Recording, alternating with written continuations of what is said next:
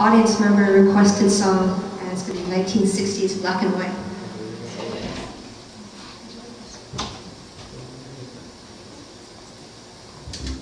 Thank you. You're welcome.